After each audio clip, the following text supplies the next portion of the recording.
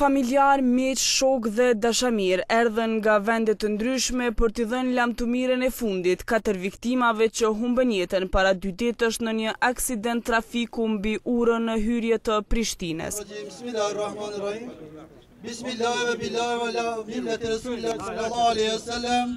Enver Alidema, Ekrem Alidema, Naxhije Lutfiu Alidema dhe Ganimete Ibërhysaj Alidemaj u varrosën mes emocionesh e lotësh. Emocionet, dhembjen e edhe lotët i shtoi edhe më shumë fjala e familjarëve të cilët falenderuan gjithë këta njerëz që erdhën në varrim dhe ua lehtësuan dhembjen e tyre. Të nderuar vllazër dhe motra, në emër të familjeve tona Alidema nga Deçani edhe nga Gushica ju falënderojmë për pjesëmarrjen në këtë ceremoni varrimi.